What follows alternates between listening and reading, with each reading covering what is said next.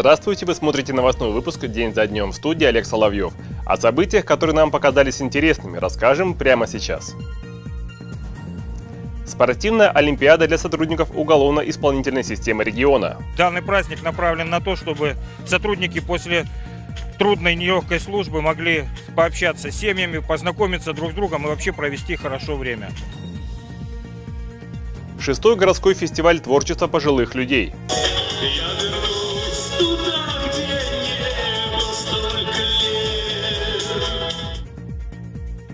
Педагоги Десногорска отметили свой профессиональный праздник. Искренние поздравления, крепкого вам здоровья, благополучия вашим семьям. На сегодняшний день в Смоленске функционирует более 850 камер наружного видеонаблюдения. Все они входят в аппаратно-программный комплекс «Безопасный город». Развитие этого проекта обсудили на совещании в администрации региона. Наличие большого количества камер полностью оправдано, считают должностные лица. Так, за 2018 год на территории региона было выписано штрафов на 400 миллионов рублей. Дорожные нарушения фиксируются как в черте областного центра, так и по всей территории Смоленщины. Кроме этого, благодаря видеокамерам в этом году раскрыто 8 преступлений, выявлено и пресечено 400 случаев нарушения правопорядка. За первое полугодие текущего года на оснащение систем видеонаблюдения из областного бюджета было потрачено более 130 миллионов рублей. Семейные спортивные олимпиады с веселыми конкурсами – отличная идея для отдыха и сплочения коллектива любой организации. Это знает и Управление Федеральной службы исполнения наказаний по Смоленской области.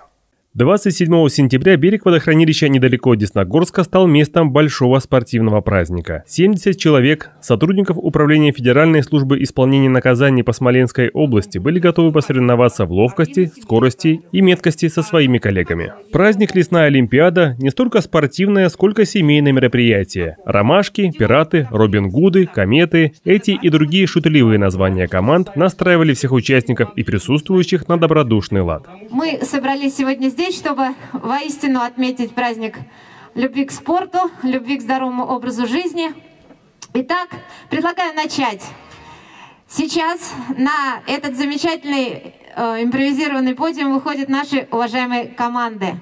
12 команд, каждая из которых – семья сотрудника уголовно-исполнительной системы отдельного подразделения. Десногорскую колонию поселения номер 5 представляла семья Пудовых. И это самое хорошее мероприятие, которое могут проводить э, наши учреждения. Это объединяет не только коллектив, но и дружно сплачивает нас и в работе, и в спорте.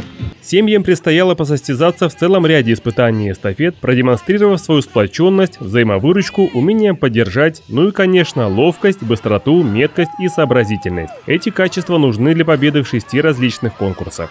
У вас будет шесть этапов э, конкурса конкурс «Самый меткий», конкурс «Запасаем воду», конкурс «Не свое дело», конкурс «Семейная эстафета», конкурс «Одеваем папу на работу» и конкурс «Интеллектуально-спортивный». В некоторых испытаниях требовались особые навыки. Например, в нужной последовательности снарядить главу семейства на вызов по тревоге. Что одевать сначала – каску, противогазную сумку или бронежилет – обывателю такие предметы мало знакомы. А для семьи сотрудника специальной службы это, похоже, обычное дело.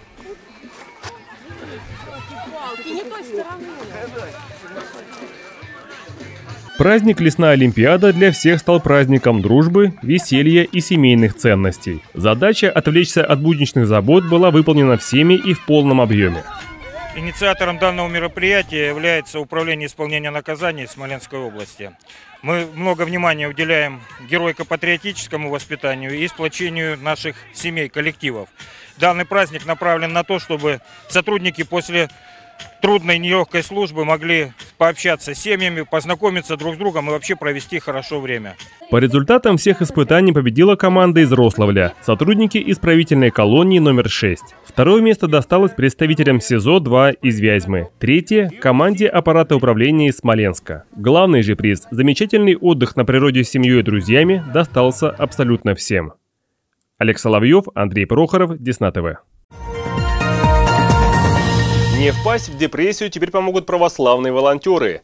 Религия совместно с наукой теперь на страже душевного благополучия в Смоленске. В медицинском университете открылся Центр психологического здоровья.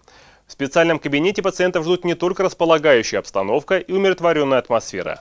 Грамотные специалисты позаботятся и о духовном здоровье. Это стало возможным благодаря проекту «Здоровье души», который получил грант на международном конкурсе «Православная инициатива». Целью такой деятельности служит подготовка православных волонтеров в сфере охраны психологического здоровья. Записаться на прием в медицинский центр несложно, достаточно просто позвонить.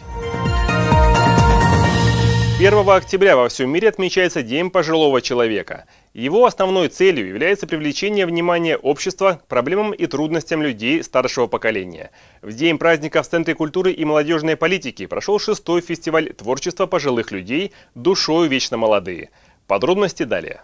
День пожилого человека – яркое свидетельство того, как наше государство и общество относятся к пожилым людям, которые заслуживают особой признательности, уважения и любви. Люди мудрого возраста заслужили эту особую честь, потому что большая часть их работы заложена в фундамент благополучия города. Они строили народное хозяйство, своими руками поднимали государство, с любовью и теплотой воспитывали детей вас с праздником, а сегодня праздник прежде всего добра и уважения. Вот я желаю вам именно, чтобы вас окружали добрые люди. Это ваши близкие, ваши соседи, ваши друзья. В Десногорске живет много людей, чья жизненная позиция для многих может стать примером. Одним из них является председатель Десногорского общества инвалидов Татьяна Желтышова. В начале мероприятия активная жительница города была награждена благодарственным письмом от Департамента Смоленской области по социальному развитию. Это человек, который заслуживает а, нашего уважения, потому что она город не только на городских мероприятиях, но и на мероприятиях областных, всероссийских и международных. Фестиваль «Душою вечно молодые» был организован при поддержке первичной профсоюзной организации Смоленской атомной станции. В этот раз он прошел в новом формате и включал в себя пять номинаций. Участники проявили себя в искусстве художественного чтения, инструментальном творчестве и хореографии – также были специальные вокальные номинации «День Победы» и «Любимый город».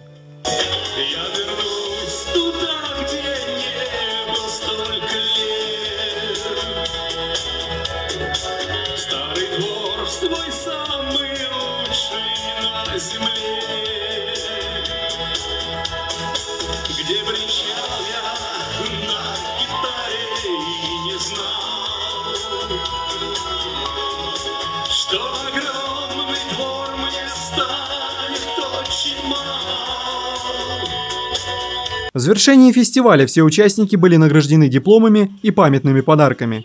Виталий Волков, Юлия Соболева, Владислав Полоскин, Десна ТВ. Проверять перепланировку в квартире могут начать с применением грубой силы. Судебные приставы будут вправе взламывать двери в квартирах, даже если хозяин помещения против. Такой законопроект размещен на портале нормативных правовых актов. Проникать в помещение через взлом дверей разрешат также для проверки исправности газового оборудования.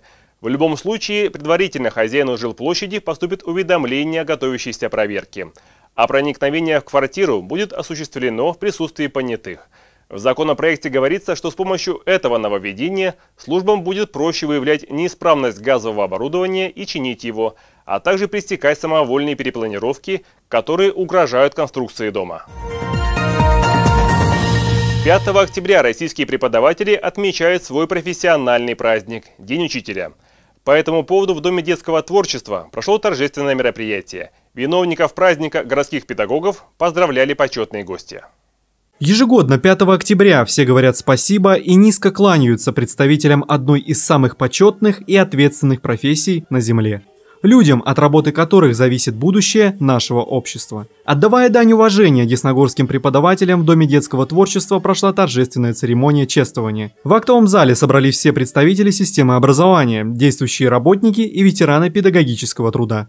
Искренние поздравления, крепкого вам здоровья, благополучия вашим семьям, большего достатка, чем вы имеете сегодня – я надеюсь, все будет хорошо. Все-таки что-то должно измениться. Оно меняется и должно измениться к лучшему. Поэтому с наступающим вас праздником. Всего вам самого наилучшего.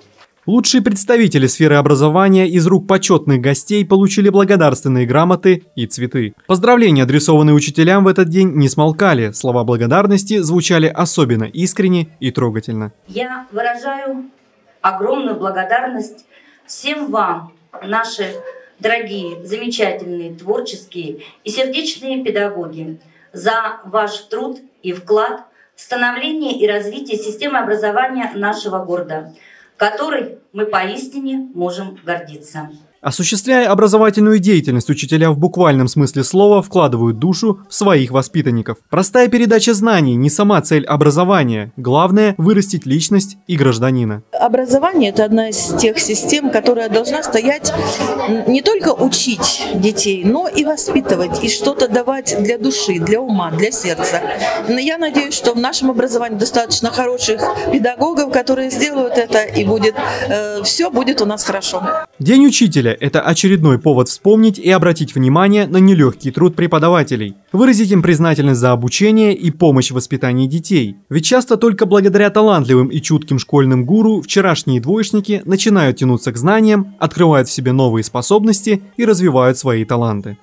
Виталий Волков, Юлия Соболева, Владислав Полоскин, Десна ТВ. Работающим родителям хотят выплачивать компенсацию за отсутствие мест в детских садах. Рассмотрение такого закона пройдет в ноябре в Государственной Думе. Инициаторы предлагают выплачивать такую компенсацию во всех регионах России, а объем компенсации будет равный региональному прожиточному минимуму. Предполагается, что в этом случае родители будут без лишних тревог сидеть дома с ребенком, получая компенсацию. А это положительно скажется на психологическом состоянии всего семейства. В конце выпуска о погоде. 4 октября в Десногорске пасмурно, возможен дождь. Температура днем плюс 13, ночью до 8 тепла. На сегодня это все новости. Больше интересного на нашем сайте desnadefistv.ru, а также в наших официальных группах в социальных сетях ВКонтакте, Одноклассниках, Фейсбуке и Инстаграм. В студии работал Олег Соловьев. До новых встреч!